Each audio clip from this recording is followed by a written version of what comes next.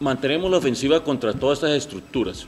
Se viene realizando un trabajo articulado con el fin de garantizar la movilidad sobre los ejes viales, especialmente esta panamericana que va hacia el departamento del Valle.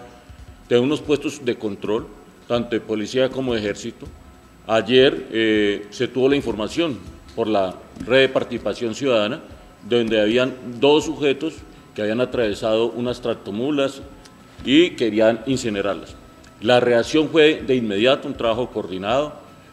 Eh, se logra la captura de dos sujetos, eh, al parecer Delgado ELN frente a José María Becerra, que pretendían obviamente eh, generar ese terrorismo en el eje vial.